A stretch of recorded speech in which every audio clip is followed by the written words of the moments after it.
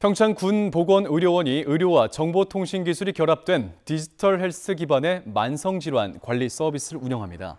건강 검진 결과가 연동되는 건강 관리 애플리케이션을 통해 혈압, 혈당, 식사, 운동, 복약 등 개인별 맞춤 콘텐츠가 제공되고 질병 예측과 건강 기록도 체계적으로 관리할 수 있습니다. 평창군 보건의료원뿐 아니라 삼성연합의원, 한사랑의원, 중앙내과의원 등 사업 참여 의료기관에서 내년에 서비스 참여자를 모집하게 됩니다.